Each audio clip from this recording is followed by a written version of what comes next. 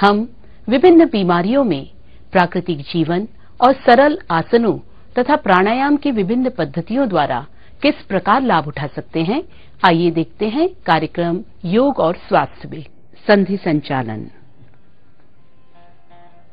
आसन के लिए शांत, साफ़ और हवादार स्थान में आसन लगाइए। बेहतर हो एक कंबल या कालीन बिछाकर बैठें। संधि संचालन के अभ्यास में सबसे पहला आसन है पादंगुली नमन। इसके लिए दोनों पैरों को सामने की ओर फैलाकर बैठें। हाथ को पीछे सहारा देने के लिए रखें। पैर की अंगुलियों को मोड़ना और खोलना शुरू करें। श्वास छोड़ते हुए अंगुलियों को सामने की तरफ़ मोड़ें। श्वास लेते हुए अपनी तरफ़। केवल अंगुलियाँ मुड़ेंगी, पंजा स्थिर रहे।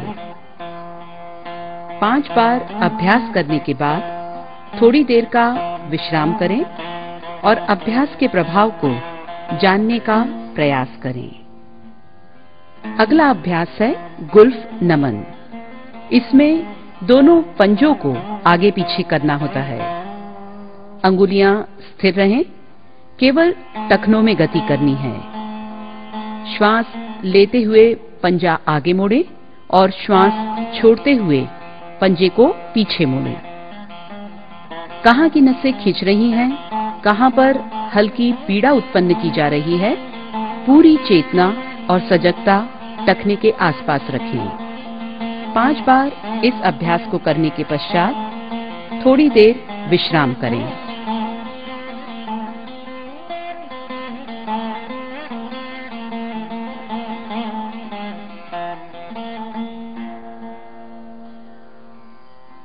अगली प्रक्रिया है गुल्फ घूर्णन की। एक पैर को मोड़कर दूसरे पैर की जांघ के ऊपर रखिए। एक हाथ से पैर के पंजे को पकड़िए और दूसरा हाथ टखने पर। हाथ की सहायता से पंजे को गोल गोल घुमाइए। एक श्वास में एक चक्र।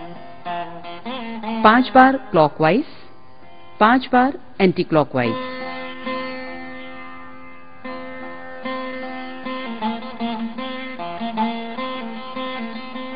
अब दूसरे पैर से इसी तरह इस अभ्यास को करें।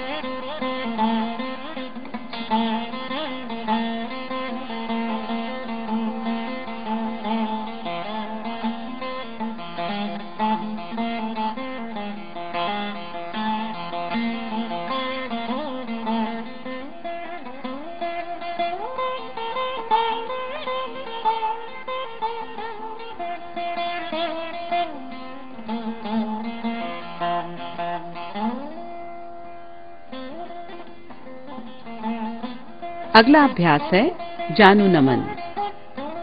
जांग के नीचे अपनी हथेलियों को फंसाइए और घुटने को मोड़ना और खोलना शुरू कीजिए।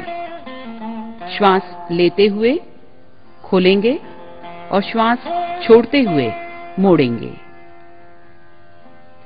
एड़ी ज़मीन को छुएगी नहीं, ऊपर ही ऊपर लाना और ले जाना है।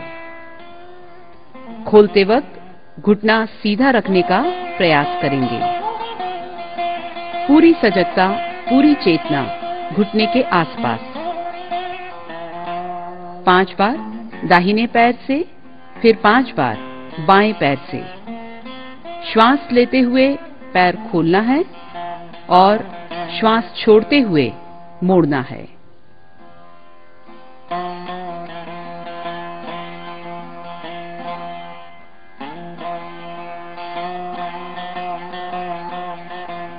अभ्यास के पश्चात थोड़ी देर विश्राम और अभ्यास के प्रभाव को जानने का प्रयास। अब जानु चक्र।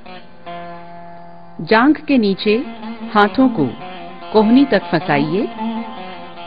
अब घुटने को गोल गोल घुमाना है। जितना बड़ा चक्र बन सकता है, बनाने का प्रयास कीजिए।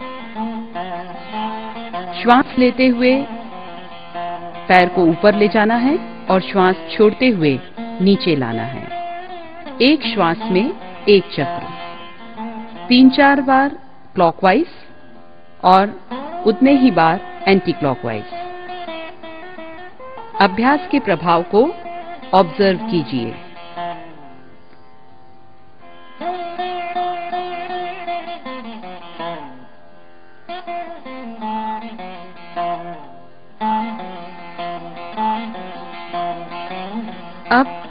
दूसरे पैर से इसी तरह इस अभ्यास को करें।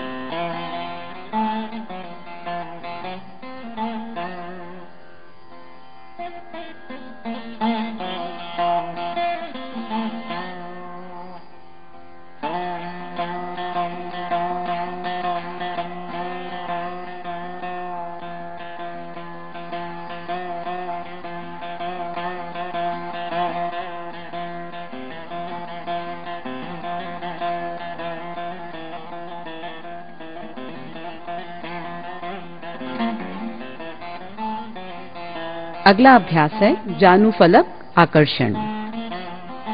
घुटने की मांसपेशी को सिकोड़िए और छोड़िए। श्वास लेते हुए मांसपेशियों को अपनी तरफ़ खींचिए।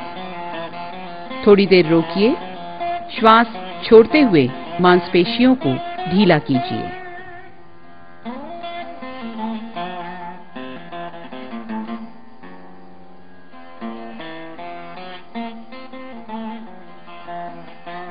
पाँच पाँच बार अपने श्वास और समय के मुताबिक, फिर थोड़ी देर का विश्राम।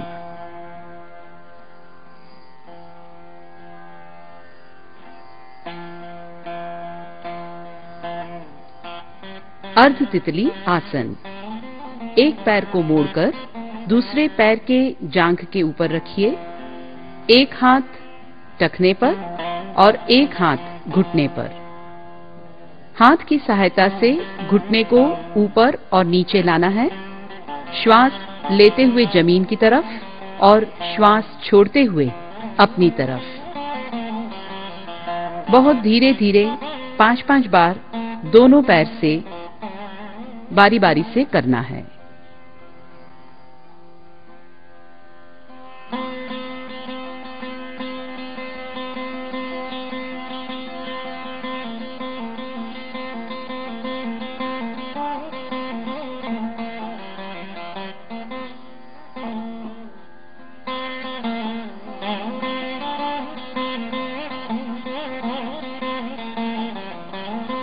पूर्ण तितली आसन।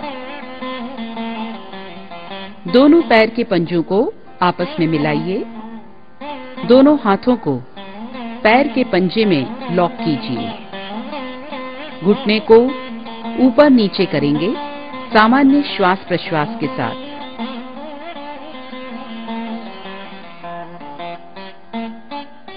रीढ़ की हड्डी सीधी, सीना खुला हुआ तेज़ी से ऊपर नीचे पैरों को कीजिए फिर थोड़ी देर का विश्राम।